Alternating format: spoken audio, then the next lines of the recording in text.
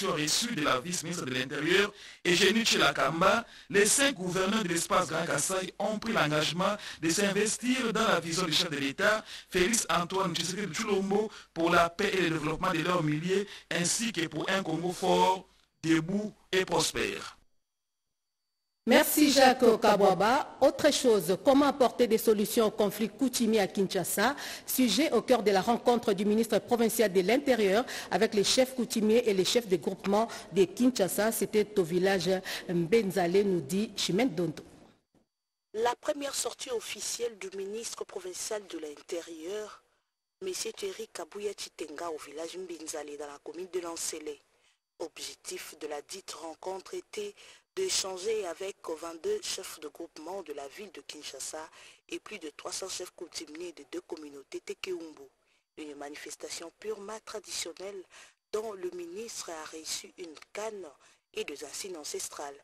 Dans son allocution, il a demandé à tous les coutumiers l'amour et le bien-être de notre patrie et le soutien défectible au chef de l'État, Félix-Antoine Tshisekedi Chilombo.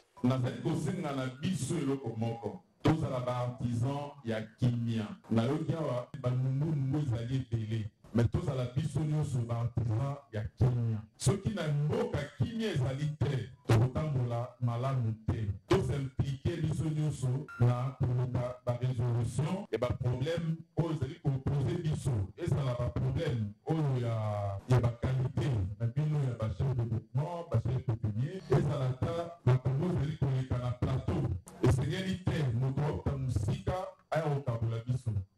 son tour, leur communauté a félicité le ministre et les a prodigué les sages conseils pour le développement de tout dans la ville-province Kinshasa. Excellence, Monsieur le ministre, tout en vous remerciant de nouveaux frais pour votre ouverture à notre communauté, nous vous demandons une franche collaboration avec les autorités traditionnelles originaires de la ville de Kinshasa. Que votre cabinet soit notre maison. C'est avec le cri de joie de pas de danse que cette messe coutumière a pris fin.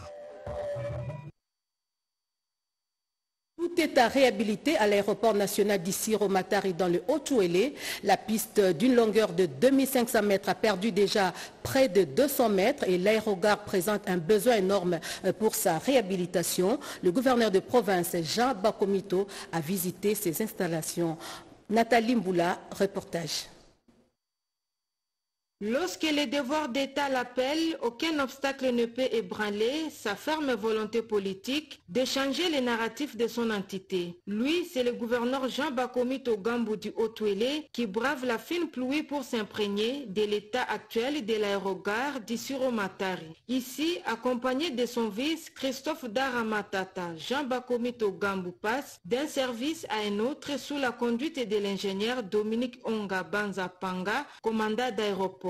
Mais il ne s'arrête pas là. Direction, piste d'atterrissage et de décollage. Aucun coin n'a échappé à sa curiosité, même à l'horizon. Jean Bakomi Togambu estime qu'il a du pain sur la planche pour redonner à cet aéroport national une autre image, surtout dans la sécurisation du trafic. On est venu voir un peu euh, l'affaissement qu'il y a sur la piste, qui met pratiquement hors usage plus ou moins 200 mètres. Nous pensons très rapidement euh, approcher le président Félix-Antoine Tshisekedi pour voir comment on peut amorcer les travaux. Nous avons saisi la RVA pour obtenir euh, autorisation de refaire l'aérogare de cet aéroport. Pour sa part, Dominique Banza, commandant de la régie des voies aériennes, s'est réjoui du passage de l'autorité provinciale avant de revenir sur les travaux qu'il réalise aussi avec l'accompagnement du gouvernement provincial du Haut-Touélé. On est en train de désherber les à côté de la piste. On va planter des pelouses. On est en train de faire les marquages des pistes. La RVA a mis sa part et nous avons les cours des mains du gouvernement provincial. Nous remercions. À ce jour, cette piste de 2500 mètres de long a perdu environ 200 à la suite de son affaissement. L'édition du Grand Salon de l'agri-business et digital en Afrique s'est achevée à Lubumbashi, un forum d'échange et de perspectives sur l'accompagnement des entrepreneurs dans les domaines de l'agriculture.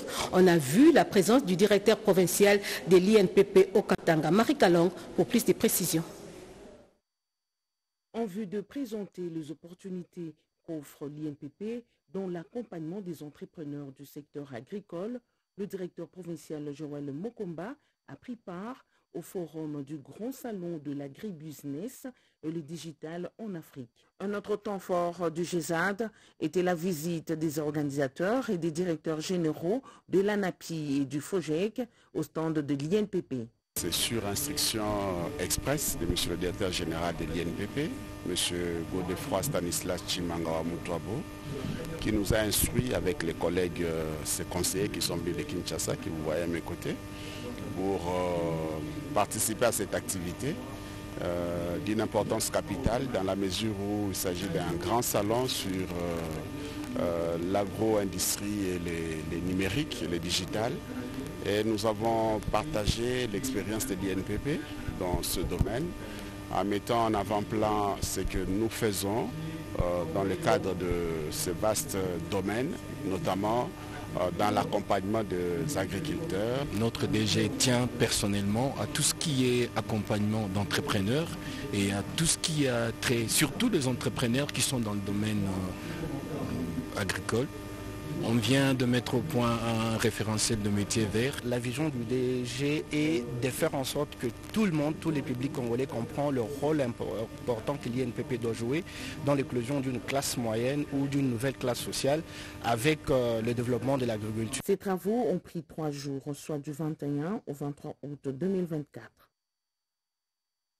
Pendant ces temps, au Pembendia Bazin, ministre provincial des Finances, lui a procédé à la clôture de l'atelier des renforcements des capacités des membres du gouvernement euh, provincial relatif avec les finances euh, publiques. On fait le point avec Franklin Kalumbo.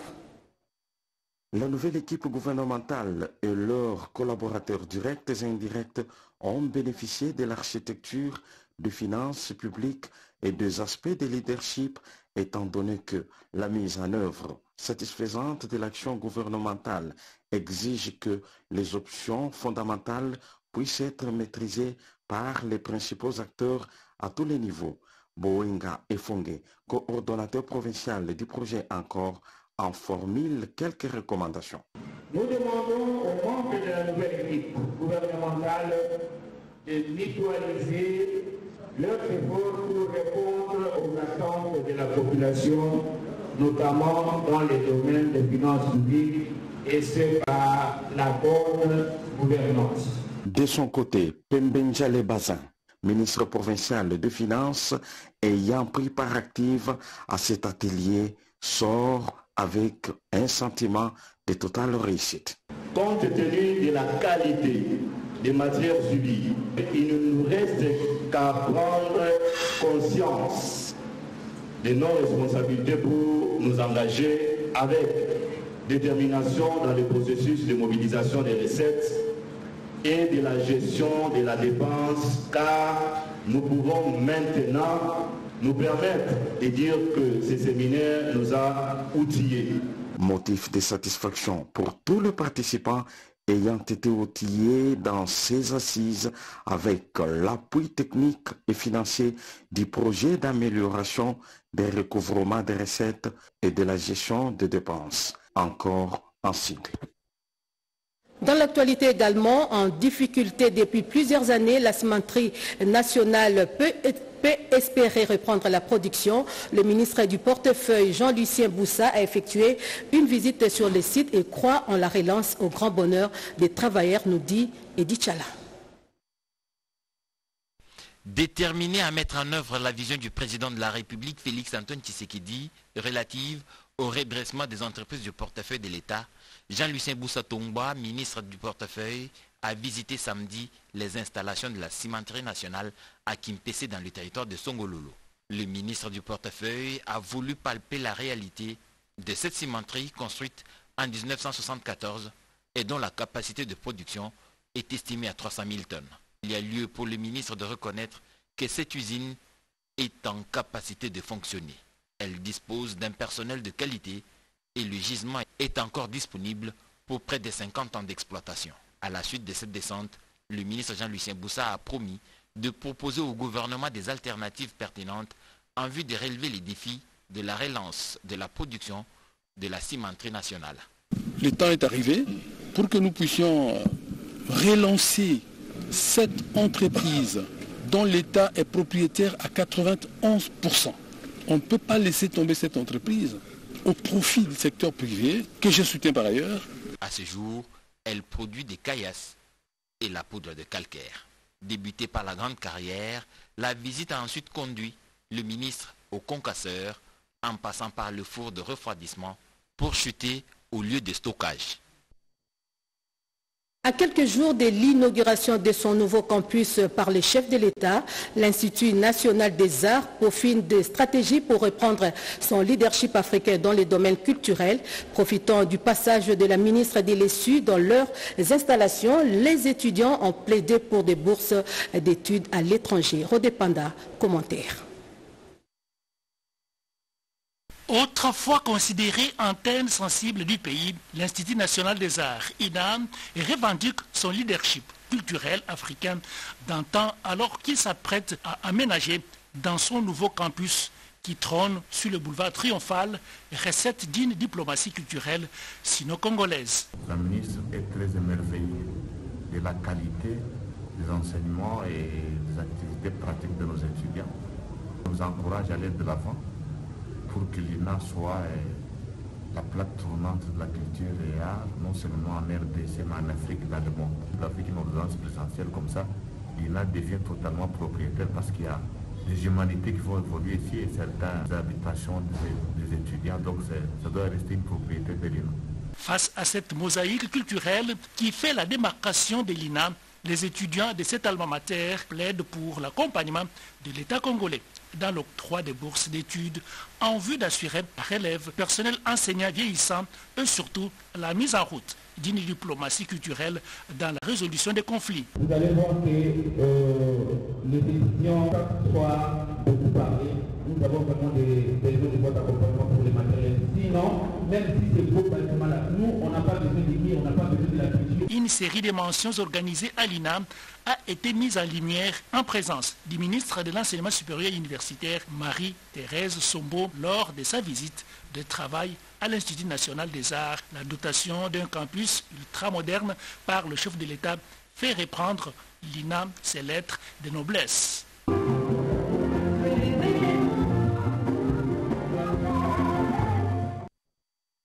Contre le blanchiment des capitaux, la corruption et autres, la dignité humaine ASBEL, une structure de la société civile, a organisé un séminaire à l'intention des différentes organisations pour bien les outiller sur les modes opératoires. Une fois de plus, Rodépanda. Le flux financier et le blanchiment d'argent illicite, la corruption, des facteurs favorisant le terrorisme à travers le monde. La RDC est victime à grande échelle de ces pratiques macabres et destructives. Face à l'ampleur de ces fléaux, la lutte devrait être collective pour éradiquer le terrorisme. Dans cette perspective, la dignité humaine ASBEL, une structure de la société civile, a organisé un séminaire qui a réuni différentes organisations de la société civile pour des séances de sensibilisation avec l'expertise des experts dont un panafricanisme togolais, des affaires économiques monter en prolifération les financements des groupes rebelles avec des ressources financières occultes sont à la base de la présence des flux financiers illicites. Pour Mme Elodie Tamouzinda, coordonnatrice de la structure Dignité humaine ASBEL, on doit informer la population et interpeller les dirigeants et différents responsables des institutions publiques et privées sur la dangerosité du terrorisme sans tenir l'image du pays. Nous ne sommes pas là pour dénoncer directement. Nous observons d'abord euh, la situation et puis nous cherchons à contribuer avec euh, ce que nous avons, c'est la sensibilisation, c'est la formation, c'est aussi donner l'information. Cette fois-ci, nous avons dit que nous touchons les acteurs de la société civile, les responsables et puis euh, d'autres membres qui vont aider à sensibiliser dans d'autres communes de Kinshasa, mais aussi en province. Et là, c'est sensibiliser autour de la thématique sur les flux financiers illicites, et mais aussi le blanchiment des capitaux. Pour l'autorité morale des organisations de la société civile, Monseigneur Bilengue, les autorités gouvernementales ont une grande responsabilité de travailler. La lutte contre le blanchiment, c'est un combat aussi dur et difficile. La société civile peut jouer un rôle qu'il faut pour ça dans la sensibilisation, la vulgarisation des textes, mais aussi euh, en collaborant avec euh, les personnes qui sont outillées pour cela. L'idéal pour l'initiatrice de cet atelier est d'étendre ses activités à travers les territoires nationaux en vue de bien outiller les membres de la société civile. C'est le GIZ de la coopération allemande qui a financé ces travaux dans le cadre du projet de lutte contre le flux financier illicite en RDC. Le parti lumumbiste unifié, PALU, existe depuis 1964. Il vient de totaliser 60 ans. Une soirée scientifique et culturelle a été organisée pour célébrer ses énième anniversaire, nous dit Willy Atunakov. Les 60 ans du PALU, on nous a expliqué le passé du PALU, le passé des acteurs qui ont créé ce parti, comment ils aimaient le pays, comment ils ont pu le faire pour qu'aujourd'hui nous puissions avoir cet héritage qu'ils nous ont légué. Ici à Mouma, au mausolée d'Antoine Gizenga, là où on l'a enterré, c'est ici le temple du Palou. C'est pour cela que nous avons un seul message, c'est de protéger cet héritage que nos anciens nous ont laissé. Parce que ceux qui ont milité pour l'unité du Congo, ceux qui ont milité pour l'avenir de la patrie, que tous les Congolais se concentrent pour l'avenir de notre pays, pour le développement de notre pays. Que nous puissions protéger l'espace que les ancêtres nous ont légué. Que tous les fils et filles du pays, là où ils se retrouvent sur l'étendue de notre pays, soient heureux et ne puissent plus connaître ce que nos frères de l'Est sont en train de connaître. Que la partition de ces pays ne puisse à jamais exister. Place à présent à la revue de presse dans une sélection et commentaire de Jean-Pierre Ndolo Demassou.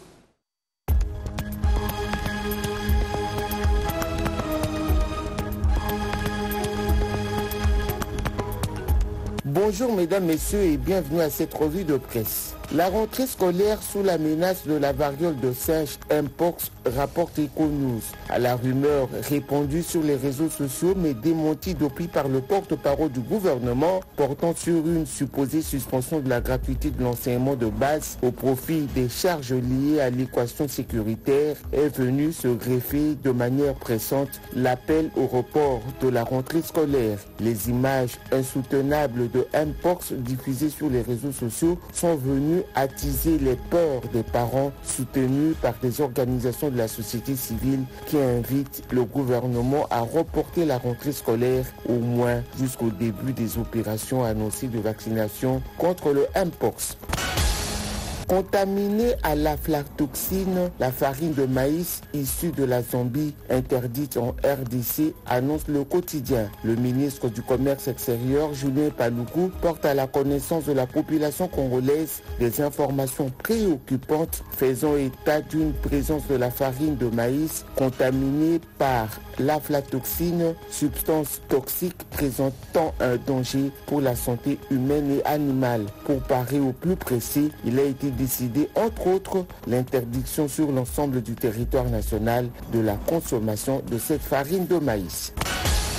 Nord Kivu, détenu pour fuite devant l'ennemi, près d'une centaine de FRDC libérés par l'auditorat militaire de Boutembo, titre la référence plus. Ils ont été libérés le vendredi 23 août 2024. Ces éléments FRDC étaient détenus à l'auditorat militaire garnison de Boutembo depuis le 2 août 2024. La vision de Félix Tshisekedi sur la création d'une classe moyenne en marche en RDC RSP, 5 entreprises sous-traitantes signent des contrats avec la grande firme Huawei selon la prospérité. Il s'agit, en croire le journal, d'un autre grand pas de géant que vient de réaliser l'autorité de régulation de la sous-traitance dans le secteur privé avec son directeur général Miguel Cachal Katemp dans le cadre de facilitation des Congolais pour l'obtention des marchés de prestation des services conformément à la vision du président de la République Félix Antoine Tshisekedi Chulombo. Cette fois-ci, c'est le secteur de télécommunications qui a été visé par le directeur général de l'ARSP qui vient de faciliter l'accès au marché à cinq sous-traitants congolais à des marchés de différentes sortes. Merci à vous de l'avoir suivi en ma compagnie. Merci à la régie pour son soutien technique. Je rappelle que le pays fait face à l'épidémie des monkeypox, la variole du singe. Observez les gestes barrières, lavez-vous régulièrement les mains et évitez les embrassades. C'est comme cela que nous allons limiter la chaîne de contamination. Excellente suite des programmes sur la télévision nationale.